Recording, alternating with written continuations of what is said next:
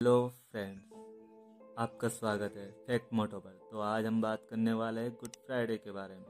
आपने तो सुना ही होगा गुड फ्राइडे के बारे। तो क्या आपको पता है क्यों बनाया जाता है? तो वीडियो को एंड तक देखें। गुड फ्राइडे एक ऐसा दिन है जिस दिन ईसा मसीह ने अपने भक्तों के लिए बलिदान देकर निस्वार्थ प्रेम की प्रत्येकाष्ठा का उदाहरण प्रस्तुत किया था। ईसाई धर्म के प्रवर्तक ईसा मसीह को जिस दिन सूली में चढ़ाया गया था वो दिन गुड फ्राइडे का था।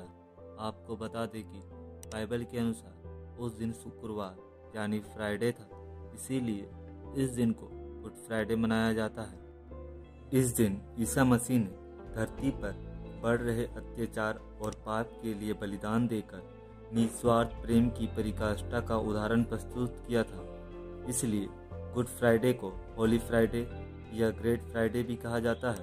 वहीं इसे बहुत लोग ब्लैक फ्राइडे भी कहते हैं। आपको बता दें कि ईसाई धर्म के लिए गुड फ्राइडे विशेष महत्व रखता है। अनेक लोग इस बलिदान के लिए ईसा मसीह की कृतज्ञता व्यक्त करते हुए 40 दिन तक उपवास रखते हैं, जो लेंट कहलाता है। तो कोई शुक्रवार को ही उपवास रखकर प्रार्थना करता है। यह दिन प्रभु ईसा मसीह के उपदेशों, उनके शिक्षाओं और उनके वचनों को न केवल याद करने वाला दिन है, बल्कि उन्हें अमन लाने के लिए प्रेरित होने का दिन।